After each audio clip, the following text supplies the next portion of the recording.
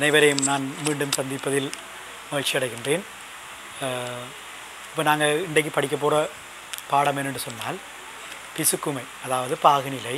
இந்த பாகுநிலை எங்களோட ஸ்கூல் பாட வேளையில் பதினைந்து பாட வேளைகள் உட உள்ளடக்கியதாக இருக்குது. கடந்த வருடம் எஸ்ஐயில் வந்த பகுதியாக இருக்குது. இந்த முறை வருமா இல்லையான்றது எங்களுக்கு தெரியலை.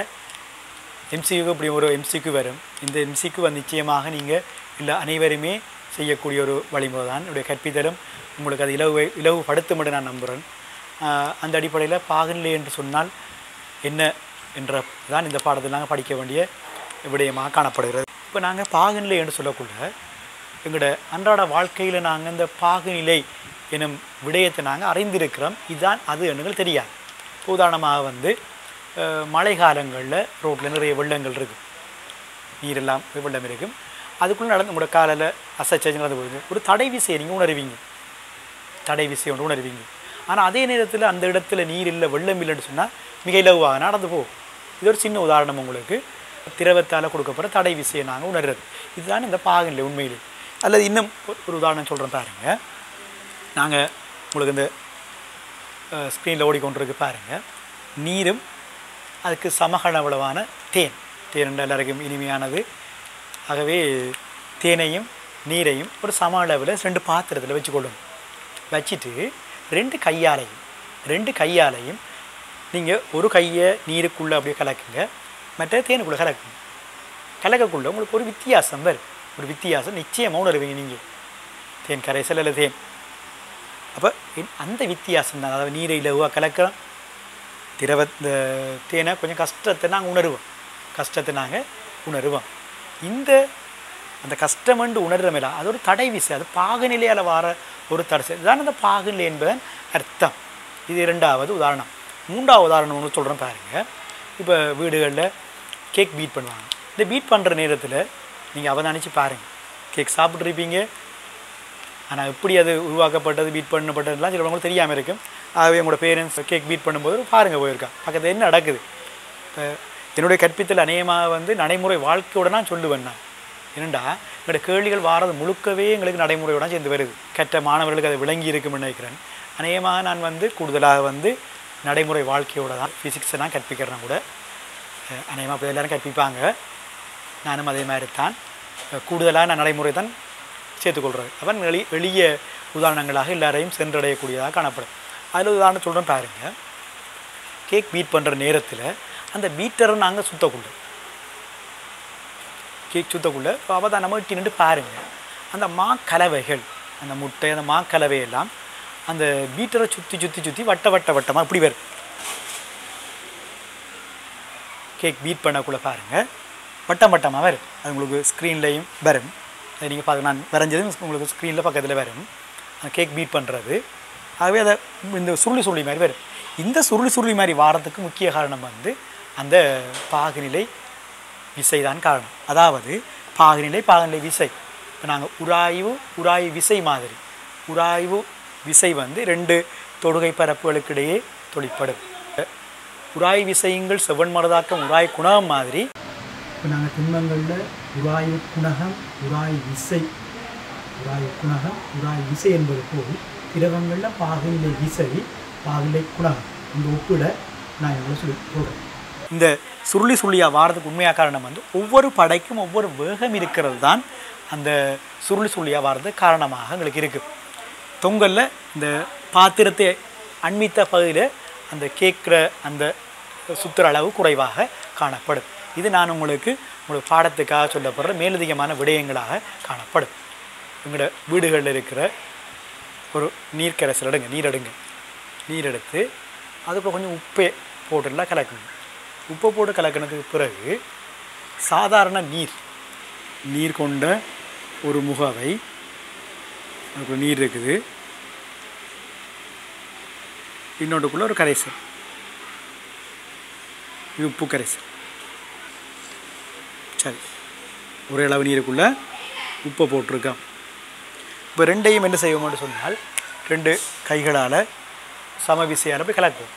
கலக்கிற நேரத்தில் இந்த உப்பு போட்ட இந்த பாத்திரத்தில் ஒரு வகையான ஒரு தடை விசையை நாங்கள் உணருவோம். அந்த தடை தான் ஏறத்தாழ இந்த பாகுநிலை என்று சொல்கிறது நாங்கள் திக்னஸ் திரவத்தில் திக்னஸ் என்று நாங்கள் சொல்லுவோம். ஆகவே இது பற்றி தான் நான் இங்கே இந்த பாடத்தில் நாங்கள் கூடுதலாக படிக்க போகிறோம் இந்த பாடத்தில் முதலாவது ஒரு குழாய்க்குள்ளால் திரவம் ஒன்று பாய்கின்றது.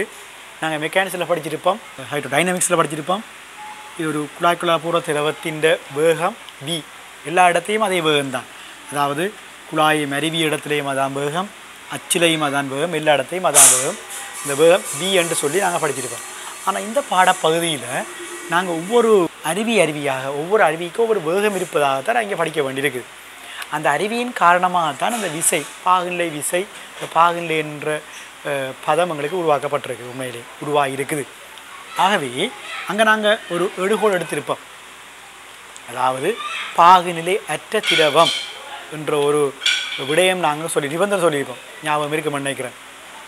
உறுதி பாய்ச்சல் பாகுநிலை அற்றது என்றெல்லாம் நாங்கள் படிச்சிருப்போம் நெருக்க முடியாத பாய். இவ்வாறு நாங்கள் நிபந்தனையோடு அங்கே படிச்சிருப்போம் இங்கே பாகுநிலை உள்ள திரவங்கள் தான் இங்கே நாங்கள் படிக்க வேண்டியிருக்குது எங்களுக்கு.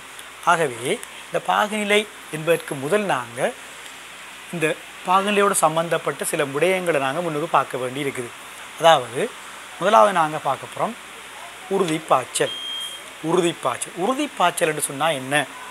இது நாங்கள் ஏற்கனவே ஹைட்ரோ டைனமிக்ஸ்லேயும் படிச்சிருக்கோம். உறுதிப்பாய்ச்சல் என்று சொன்னால் இந்த ஒரு குழாய். இந்த குழாய்க்குள்ளே ஒரு திரவம் போய்கொண்டிருக்குது ஒரு குறித்த புள்ளி ஏ என்ற ஒரு புள்ளியை நான் இந்த புள்ளியில் கடக்கிற திரவத்திற வேகம் எல்லா சந்தர்ப்பங்களையும் சமனாக இருக்கும் இப்போ ஏ என்ற புள்ளியை போட்டிருக்கிறேன்.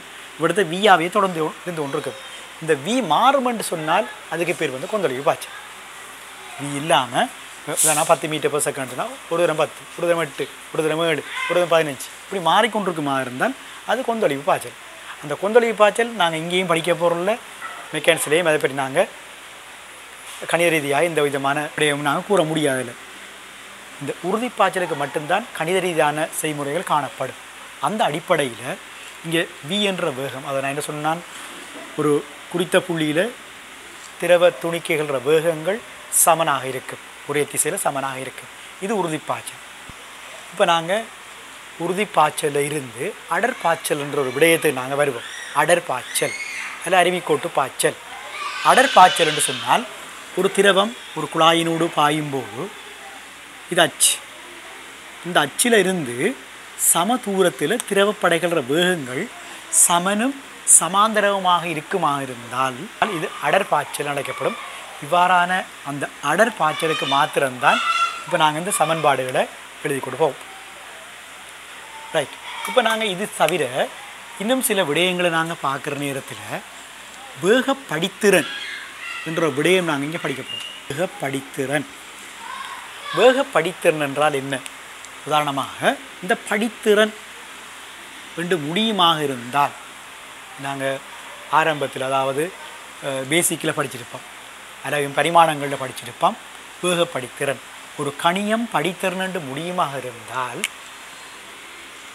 வேக மாற்றத்தின் கீழ் தூரம் தூரத்தில் பிரிக்கணும் படித்திறன் முடிஞ்சால் தூ அந்த கணியத்தை தூரத்தில் பிரிக்கணும் வேக மாற்றம் கீழ் தூரம். தான் வேக படித்தர். இங்கே நாங்கள் டிபிஒய் டிஎக்ஸ் ரெண்டு போடுவோம். டிபிஒய் டிஎக்ஸ் சமன். ஒரு வேகம் வி ஒன் இன்னும் ஒரு வேகம் வி டூவின் கீழ் அந்த ரெண்டு வேகத்துக்கும் இடையிலான தூரம் எக்ஸ் என்று வச்சுக்கொள்வோம். அந்த ரெண்டு வேகத்துக்கு இடையிலான தூரம் எக்ஸ் என்று வச்சுக்கொள்ளுங்க. ஆகவே வேக படித்திறன் என்பது வேக மாற்றத்திங்கள் தூரம். அலகு மீட்டர் செகண்ட் மைனஸ் ஒன் இங்கள் மீட்டர் மீட்டர் மீட்டர் வெட்டுப்பட்டால் செகண்ட் மைனஸ் ஒன் ரைட் ஆகவே இந்த வேக படித்தருணம் வந்து எங்களோட அருவிக்கோட்டு பாய்ச்சல் திரவங்களுக்குத்தான் நாங்கள் அதை படிக்க போகிறோம் இந்த இடத்துல எங்களுக்கு தேவையாக காணப்படுகின்றது. இப்போ நாங்கள் சொன்ன விடயம் வேக படித்திறன் இதுதான் அந்த படத்தில் காட்டியிருக்கிறோம் பாருங்கள் வி ஒன் ஒரு திரவப்படையின் வேகம் இன்னொரு திரவப்படைகிற வேகம் வி டூ அந்த திரவப்படைகள் இடைப்பட தூரம் எக்ஸ் அதான் நாங்கள் டிவி இங்கில் டிஎக்ஸ் வேக படித்திறன் என்பது வி ஒன் மைனஸ் வி டூவின் கீழ் எக்ஸினால் தரப்படும். ஆகவே இங்கே நாங்கள் இந்த ரெண்டு திரவப்படைகள வேகங்களும் ஏன் மாறுகின்றது என்று பார்க்குற நேரத்தில் இந்த ரெண்டுக்கும் இடையே ஒரு விசை ஒன்று தொழிற்படும். இந்த ரெண்டுக்கும் இடையே விசை ஒன்று தொழிற்படும். அதாவது உண்மையிலே வந்து வேகங்கள் வேறுபடுறதுக்கான காரணமே விசை தொழிற்படுறதான் இந்த விசைக்குத்தான் பேர் வந்து பாகுநிலை விசை. பாகுநிலை விசை. அதாவது உண்மையிலே சார்பு இயக்கத்தை எதிர்க்கும் வகையில் அந்த விசை அமைகின்றது. சார்பு இயக்கத்தை எதிர்க்கும் வகையில் அந்த விசை எங்களுக்கு அமையும். இப்போ நாங்கள் திண்ம உராய்விலேருந்து பார்க்கலாம். திண்ம உராய்வு விசை எப்படி தாக்கும்? ரெண்டு தொடு பரப்புகளுக்கு இடையே சார்பு இயக்கத்தை எதிர்க்கும் வகையில் அந்த விசை அமையும். அதே மாதிரி திரவ உராய் விசை தான் இந்த பாகுநிலை விசை என அழைக்கப்படுறது. இரண்டு விசைகளுக்கிடையே தொழிற்படும் இரண்டு திரவ படைகளுக்கிடையே தொழிற்படுற அந்த விசை தான் பாகுநிலை விசை. இந்த பாகநிலை விசை என்னென்ன காரணிகளை தங்கி இருக்குது என்று பார்க்குற நேரத்தில் நாங்கள் எஃப் நேர்வீத சமன் ஏ ஏன்றது இந்த ரெண்டு பரப் ரெண்டு திரவ படைகளுக்கும் இடையிலான தொடு பரப்பளவு. இன்னும் ஒரு காரணம் தங்கி இந்த வேகப்படித்திறன் எஃப் நேர்வீத சமன் டிவி பை டிஎக்ஸ் அப்போ ரெண்டு காரணிகளில் இந்த இரண்டு திரவ படைகளுக்கிடையே காணப்படும் பாகன் பாகநிலை விசை தங்கியுள்ளது. எஃப் நேர்வி சமன் ஏ எஃப் நேர்வி சமன் டிவிங்கில் டிஎக்ஸ் ஏன்றது தொடுகை பரப்பளவு. குறுக்கோட்டு பரப்பு அல்ல தொடுகை பரப்பளவு. டிவிங்கில் டிஎக்ஸ் வேகப்படித்திறன். இந்த ரெண்டையும் சேர்த்து எழுதி விட்டீங்களா இருந்தால் எஃப் நேர்வீத சமன் ஏ இன்ட்டு டிவிங்கில் டிஎக்ஸ் சில வழியில் டெல்டா விங்கில் டெல்டா எக்ஸ் என்றும் எழுதுவாங்க. இது சமனாக்கினமாக இருந்தால் எஃப் சமன் ஏ நீட்டா. ஒரு மார்லி போடுவோம். ஒரு நேர்வித சமயம் சமனாக்குற நேரத்தில் ஒரு மார்லி போட வேணும். ஏ இன்ட்டு டிவிங்கில் டிஎக்ஸ் இதுதான் எங்களோட முதலாவது சமன்பாடு. பாகநிலை தொடர்பான பாகநிலை விசை தொடர்பான எங்களோட முதலாவது சமன்பாடு இதுதான். அதாவது இரு திரவ படைகளுக்கிடையே தொழிற்படும் விசையானது. தொடுகை பரப்புக்கு நேர்வித சமன் ப வேக படித்தனுக்கு நேர்விய சமன். ரெண்டையும் கனெக்ட் பண்ணி ஒரு நாங்கள் ஒரு மாறிலியோட சமன்பாடு அமைக்கிறோம். இந்த நீட்டா தான் பாகுநிலை குணகம். பாகுநிலை குணகம். அதாவது எங்களோட உராய் குணகம் மாதிரி பாகுநிலை குணகம். நான் இதுக்கு அழகு இருக்குது அது அழகு இல்லை அதை நாங்கள் பிறகு பார்ப்போம். அதை பற்றி இறுதி பகுதியில் பார்ப்போம் நாங்கள் இந்த நீட்டான்றது பாகுநிலை குணகம். பாகுநிலை குணகம். இந்த பாகுநிலை குணகத்துடைய வரைவிலக்கணம் என்ன? இது என்னென்ன காரணிகளை தங்கி இருக்குது என்றதை நாங்கள் அடுத்ததாக பார்ப்போம். இந்த நீட்டாவின் அழகையும் வரைவிலக்கணத்தையும் நாங்கள் பார்க்குறதுக்காக நான் இந்த நீட்டாவை நான் எழுவாயை கெடுக்கிறோம் நீட்டா சமன் எஃபின் கீழ் ஏ இன்ட்டு டிவிங்கள் டிஎக்ஸ் இது எஃப் வந்து நியூட்டன். ஒரு அழகை பார்ப்போம். நியூட்டன். ஏ வந்து பரப்பளவு மீட்டர் வர்க்கம் டிவிங்கள் டிஎக்ஸ் செகண்ட் மைனஸ் ஒன் இது அப்படி மேலே கொண்டு போனீங்களா இருந்தால் newton second metre minus two இதை நாங்கள் அடிப்படை அலகில் எழுதினமாக இருந்தால் நியூட்டனை மட்டும் மாற்றுங்க. Kilogram metre second minus two into second metre minus kilogram metre minus one second minus one இது வந்து அடிப்படை அலகு ரீதியாக. ரெண்டு அலகுகளுமே எங்களுக்கு தெரிஞ்சிருந்தா நல்லா சரி இதில் நாங்கள் அடுத்த வரைவிலக்கணத்துக்கு வருவோம். வரைவிலக்கணம். இந்த ரெண்டையும் உண்டாக்கி விட்டீங்கன்னா சரி ஏ ஒன்று டிவிங்கள் டிஎக்ஸ்னு சொன்னால் பாகுநிலை விசை பாகுநிலை குணகத்துக்கு சமன் ஆனால் அப்படி நாங்கள் சொல்கிறோம்ல வரைவிலக்கணம் எப்படி சொல்கிறோம்னு பார்ப்போம்.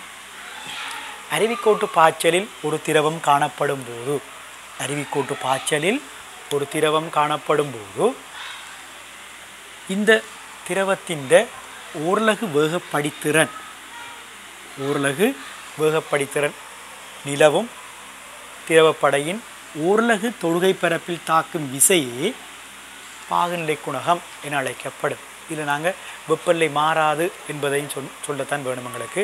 இந்த வெப்பநிலை மாறினா பாகுநிலை குணகம் மாற்றமடையும். பாகுநிலை குணகம் மாற்றமடையும். மீண்டும் ஒரு அந்த வரைவிடங்கள் சொல்கிறோம் பாருங்கள் அடர் பாய்ச்சல் உள்ள திரவம் அல்லது அருவிக்கோட்டு பாய்ச்சலில் உள்ள திரவம் ஒன்றின் வெப்பநிலை மாறாத போது ஓரலகு வேலை படித்திற நிலவும் ஓரலகு தொடுகை பரப்பில் தொழிப்படும் பாகுநிலை விசையானது அதன் பாகுநிலை குணகம் என அழைக்கப்படும். மீண்டும் ஒரு தடவை அந்த வரைவிலக்கணத்தை நான் உங்களுக்கு சொல்கிறேன் உங்களுக்கு ஸ்க்ரீன்லைன் நாங்கள் அதை போட்டிருக்கிறோம். அடர் பாய்ச்சல் அல்லது அருவிக்கோட்டு பாய்ச்சலில் உள்ள திரவமுன் வெப்பநிலை மாறாத போது உருளகு வேலை படித்திறன் நிலவுகையில் அதன் உருளகு தொடுகை பரப்பில் தொழிற்படும் விசை அதன் பாகுநிலை குணகம் என அழைக்கப்படும் வரைவிலக்கணம் முக்கியமானதாக எங்களுக்கு அமைகின்றது. ஆகவே இதுதான் நீட்டா இந்த நீட்டா தங்கியுள்ள காரணிகள் ஒன்று பதார்த்தத்தின் தன்மை இரண்டாவது வெப்பநிலை. இந்த ரெண்டு காரணிகளையும் அது பிரதானமாக தங்கியுள்ளது. வெப்பநிலை அதிகரிக்கும் போது பாகுநிலை குணகம் குறையும். பாகுநிலைன்றது ஒரு திக்னஸ் மாதிரி தான் உங்களுக்கு நான் ஒரு எளிய உதாரணம் சொல்கிறேன்னு பாருங்கள் என்ன எளிய உதாரணம் என்று சொன்னால் உதாரணமாக வந்து ஒரு சீனி கரைசல் சீனி பாகு நாங்கள் தயாரிக்கும் போது ஒரு சீனி பாகு நாங்கள் தயாரிக்கும் போது அந்த வெப்பப்படுத்த வெப்பப்படுத்த வெப்பப்படுத்த அந்த சீனி பாகு கரைசல் கரைதிறன் கூடிக்கொண்டிருக்கும். நீ கெமிஸ்ட்ரிலையும் படிச்சிருப்பீங்க. இப்போ நான் ஹீட் பண்ண பண்ண பண்ண அந்த கரைதிறன் கூடிக்கொண்டிருக்கும். சாதாரணமாக நாங்கள் சாதாரண வெப்பநிலையில் அந்த சீனியை கரைக்கிறதை விட ஹீட் பண்ணி போட்டு கரைஞ்சமாக இருந்தால் கூடுதலாக கரையும். அதாவது அந்த பாகுநிலை குறைகிறதான் இதுக்கு முக்கிய காரணமாக எங்களுக்கு இருக்கும். இது ஒரு எளிய உதாரணம். வெப்பநிலை அதிகரிக்கும் போது பாகுநிலை குணம் குறைகின்றது என்பதற்கு இது எளிய உதாரணமாக அமையும்.